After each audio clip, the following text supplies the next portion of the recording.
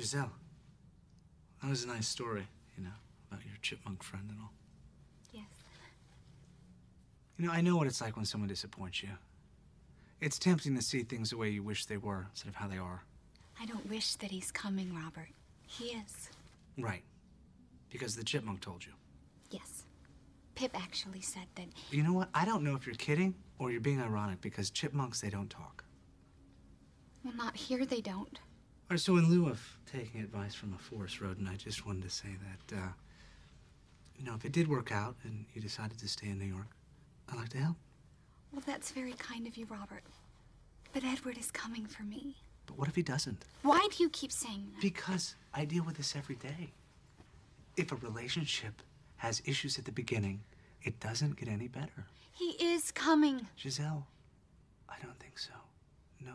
Yes. I have to disagree. No. No. No. Is that the only word that you know? No. No. Oh, yeah. No. No.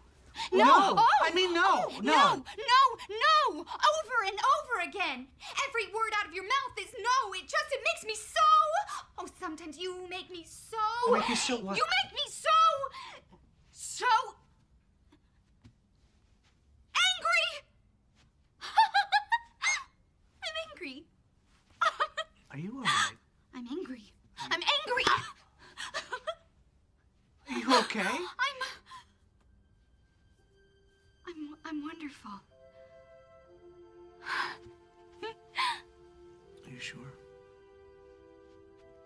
Yes. I'm. I'm fine. Um, I'm. Fit as a fiddle.